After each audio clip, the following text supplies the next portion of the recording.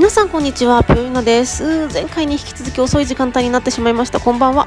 今回はコストコ帰宅後ルーティンとして小分け作業を見せていきたいと思います。よろしければ最後までご覧ください。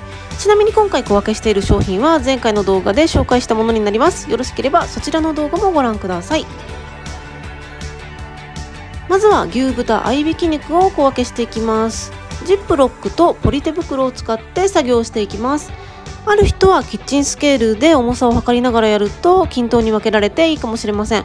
私はだいたい 450g ずつになるように分けていますが各家庭1回に使う量で分けたりとか用途によって使う量を考えて分けたりとかそれぞれ合うような分け方でしていってください、えー、保存のコツとしてはこんな風にギュッギュッと空気を抜きながらジップロックを密閉していくことがコツだと思います。やっぱりお肉も空気に触れたところから悪くなっていったりするのでできるだけ空気に触れないように私は意識をしています。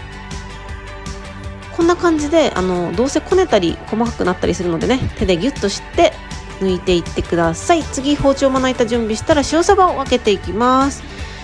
えー、まあ何匹ずつでもいいんですが、まあ、1切れずつかな。1切れと3等分になるように私はいつも切っています。そうすると、まあ、子供たちが食べたりとか大人用に分けたりとかする時にもとても使い勝手がいいしちょっとね小さめなフライパンでちょっと焼くっていう時も便利です、えー、塩サバね焼くだけで一品焼き魚出来上がるのでもうとっても便利です。子供たちもねかなり魚が好きで塩サバだけじゃなくてししゃもとかもね丸ごといっちゃったりするのであのお魚はよくコストコで購入しています。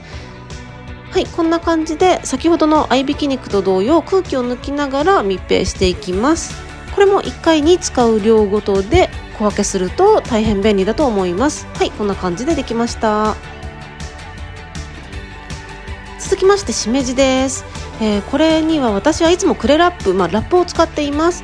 1回分に使う量だいたいねお味噌汁に入れる分かなぐらいで小分けしています。炒め物に使う時はこの小分けした分2個分とか3個分とか使うこともあります。はいこんな感じでどんどんクレラップで分けていったらこのね一番最初に入っていた外袋を使います。